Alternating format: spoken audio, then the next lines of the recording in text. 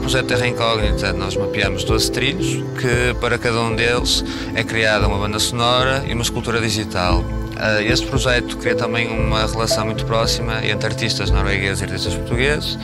e é possível através do financiamento do EA Grant. É ótimo podermos contribuir não só para esta criação e enriquecimento da região diretamente, através das pessoas que trabalham connosco, através das pessoas que fazem parte do projeto, mas também indiretamente através das pessoas que chamamos para virem cá, as pessoas que visitam estes lugares.